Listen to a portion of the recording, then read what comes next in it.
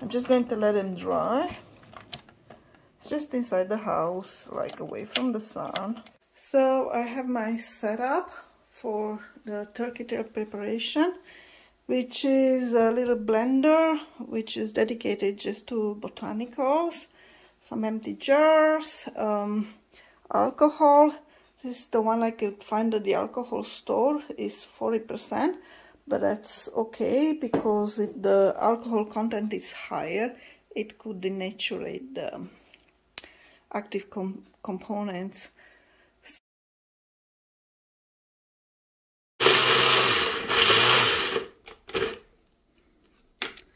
Oh, it looks like it's overflowing. Okay, I have to use my bullet.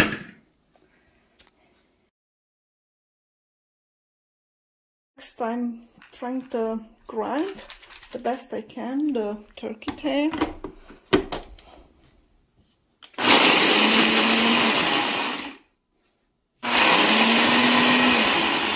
So I have the ground almost pulverized. This is how to open turkey tail and I consider myself satisfied. This is very hard to grind actually and I made a mess. And all you need to do put this in a jar.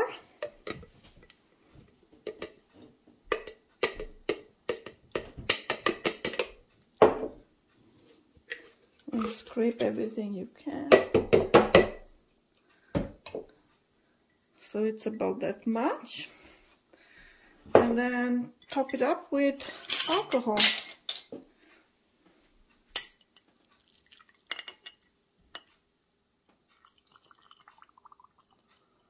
Top it up with alcohol so the alcohol is higher than the turkey tail in the jar.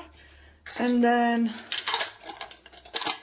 put the cap on and put the label on with the date. Um, that you put it in the alcohol if you want the pickup date also and make sure it's sealed well because occasionally you have to give it a good uh, shake.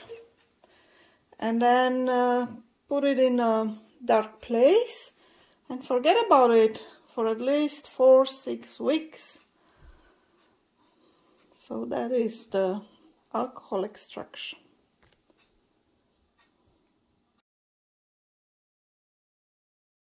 So I have the macerated turkey tail. It's been more than two months. Now it's time to strain it. So I have some cheesecloth prepared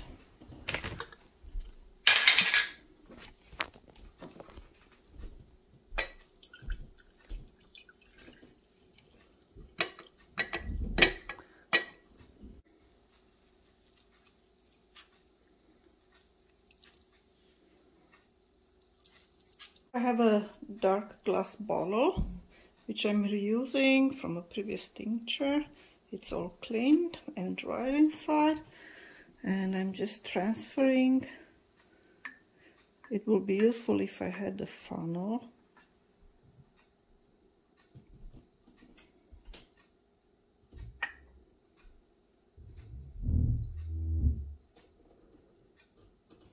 But I don't have a funnel, so I have to use the precision of my hands.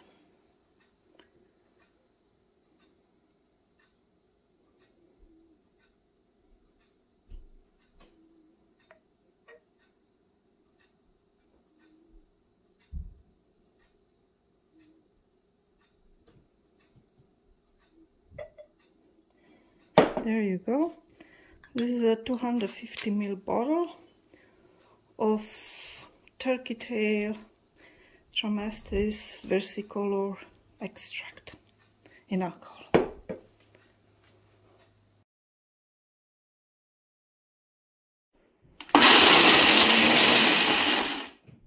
So this is all done.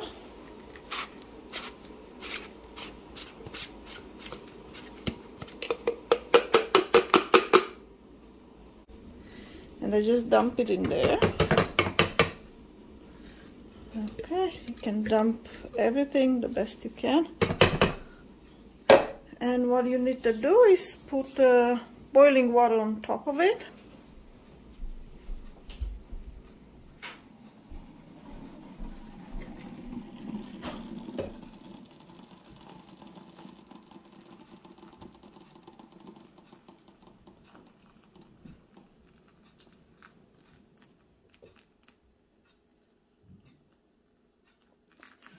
Okay. And then put a lid on plug it in and um, forget about it.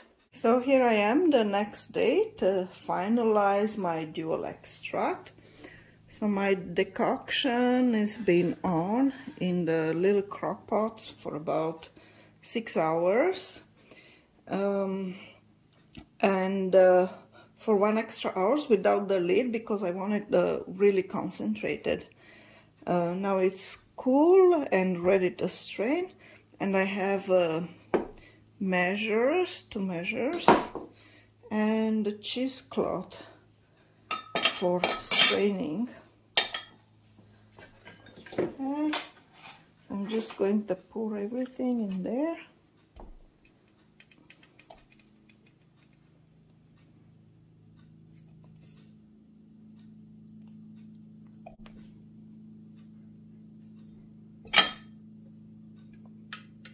Okay.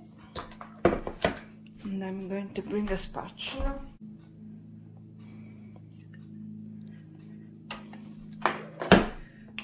And then really squeeze the cheesecloth so I can get up all the liquid.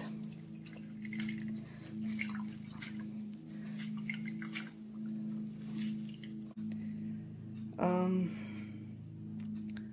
100 mils of the decoction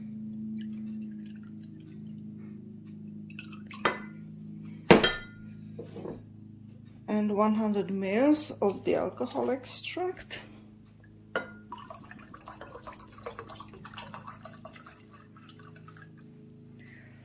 so if I started with a 40% alcohol and um, I'm adding half and half uh, water extract.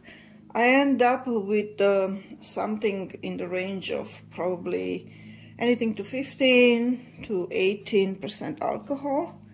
And so next I'm pouring everything into a dark glass bottle.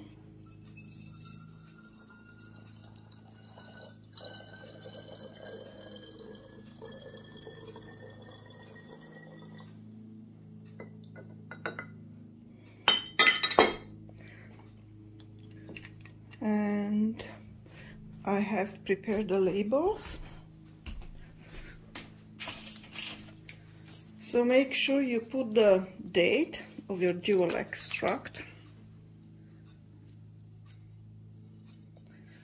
and uh, even though this is 15 to 18 percent alcohol it's best to keep it refrigerated there you go and this is the leftover um, alcohol tincture. Make sure you label this one as well. And I like to label the date of starting the alcohol extraction to the date of